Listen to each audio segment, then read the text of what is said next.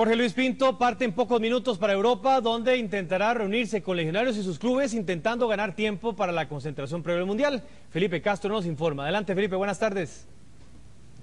¿Qué tal Jorge? Saludos eh, para usted, por supuesto para todos nuestros amigos televidentes acá desde una caliente alajuela donde hace pocos minutos acaba de ingresar al aeropuerto Juan Santa María el técnico de la selección costarricense, don Jorge Luis Pinto. Ha dejado claro que la concentración para el Mundial arrancará el 16 de mayo independientemente de si están o no los jugadores legionarios de la selección de Costa Rica y nos explica un poco el periplo que hará durante 12 días en suelo europeo visitarlos, hablar con los directores deportivos, hablar con los técnicos y negociar de alguna manera la posibilidad de que vengan para el 16 de, mayo, donde podríamos contar con ellos y, se podría hacer una gran pretemporada.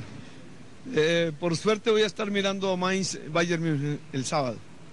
Salgo de Mainz, viajo a Bruselas, Brujas, voy a Eindhoven, donde está Brian. De ahí partimos de Amsterdam para eh, Allison, donde está Barrantes, de Allison viajamos para Oslo, de Oslo miraremos una alternativa ahí y ahí saldremos para Estocolmo.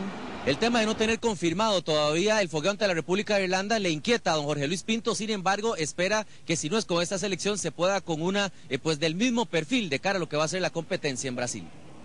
Sí, eso lo manejan los empresarios y los empresarios tienen sus intereses personales y ya es complicado con. La concentración arranca el 16 con los que estemos y los que vayan viniendo se van adjuntando a la concentración.